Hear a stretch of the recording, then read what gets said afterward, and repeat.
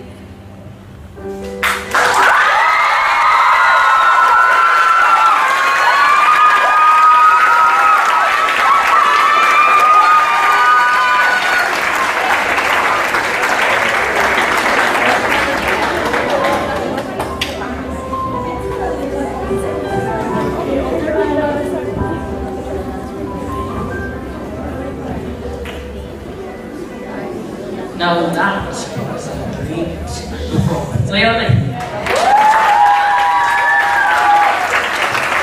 it was moving, honestly, so moving that Miss Josephine come out because she's crying. She's crying. I told her, I told her, I said, Miss, you have to come out. You can't just cry like this. This is, this is not you.